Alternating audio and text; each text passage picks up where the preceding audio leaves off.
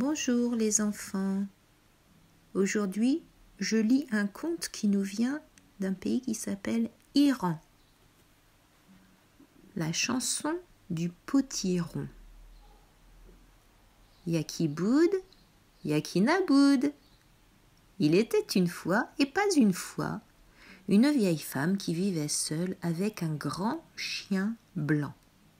Un beau matin, elle décida d'aller rendre visite à sa petite fille qui habitait de l'autre côté de la montagne. Reste ici et garde la maison, dit-elle à son grand chien blanc. Et elle s'en alla sur le sentier qui escaladait la montagne. Or, un terrible djinn vivait dans une caverne non loin de là. Ce djinn avait un appétit d'ogre. Dès qu'il entendit les pas de la vieille femme, il se dressa en travers du chemin. Je vais te manger pour mon dîner, rugit-il. Fit la vieille dame. Franchement, quel misérable dîner pour un grand gaillard comme toi. Écoute, je m'en vais chez ma petite fille, qui est très bonne cuisinière. Je ne manquerai pas de prendre quelques kilos. Tu ferais mieux d'attendre mon retour pour me manger. Hum, entendu, répondit le djinn. Dépêche-toi d'engraisser, que je puisse me régaler.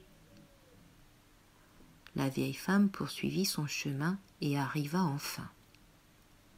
Comme sa petite fille fut contente de la voir, elle se mit aussitôt en cuisine, brochettes d'agneau, riz aux légumes, crèmes et gâteaux. Sa grand-mère fit honneur à tous les plats. À la fin du repas, elle déclara Pouf, j'ai trop mangé, je ne peux plus bouger. Il faut pourtant que je rentre chez moi, sans quoi mon grand chien blanc se languira. Ne t'inquiète pas, Nana, dit sa petite fille. J'ai dans mon potager un énorme potiron.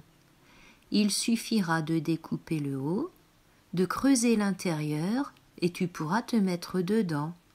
Ensuite, je refermerai le couvercle, je roulerai le potiron jusqu'au sommet de la montagne, et il dévalera la pente jusqu'en bas. De cette façon, tu rentreras chez toi sans te fatiguer.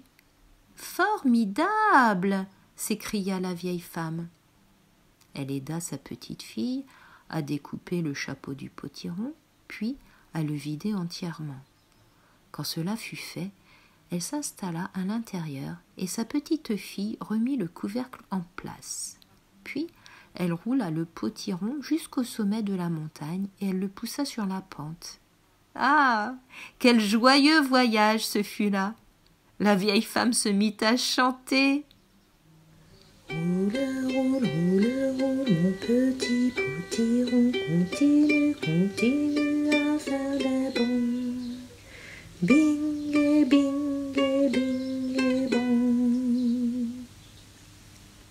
Le terrible djinn aperçut soudain le potiron qui dévalait la montagne en roulant comme un ballon il se dit en lui-même hum, Je n'ai pas l'habitude de voir des potirons passer devant chez moi. C'est alors qu'il entendit mon petit potiron, continue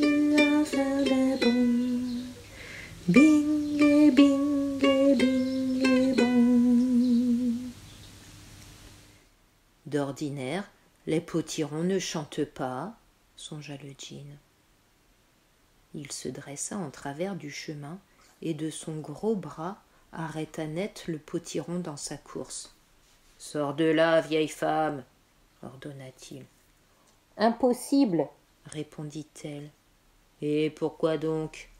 Parce que tu n'as pas prononcé la formule magique. Quelle formule magique? Tu dois dire Viens vite, mon grand chien blanc. Viens vite, mon grand chien blanc, répéta le djinn de sa grosse voix. Plus fort, dit la vieille dame. Viens vite, mon grand chien blanc, hurla le djinn. Plus fort.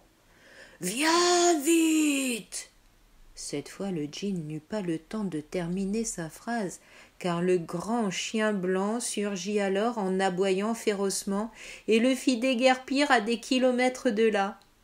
Puis, du bout de son museau, il poussa le potiron sur la pente, et la vieille dame se remit à chanter. Mon petit potiron, continue.